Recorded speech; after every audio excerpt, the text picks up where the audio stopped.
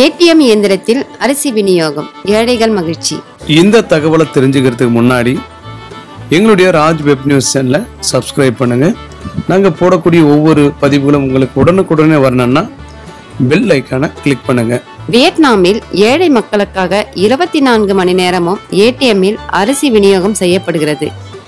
வியட்நாமில் இருநூத்தி அறுபத்தைந்து பேர் கொரோனாவால் பாதிக்கப்பட்டுள்ளனர். ஆனால் இதுவரை ஒருவர் கூட உயிரிழக்கவில்லை. தினக்கூலிகள் வேலை இழப்பால் கஷ்டப்படுவதால் இருபத்தி நான்கு மணி நேரம் அரிசி கிடைக்கக்கூடிய ஏடிஎம் இயந்திரம் வியட்நாமில் வைக்கப்பட்டுள்ளது. காலை எட்டு மணி முதல் மாலை ஐந்து மணி வரை இந்த ஏடிஎம் இயந்திரத்தில் அரிசி கிடைக்கும். இதனை பொதுமக்கள் தாங்கள் கொண்டு வந்த துணிப்பைகளில் நிரப்பிக் கொள்ளலாம்.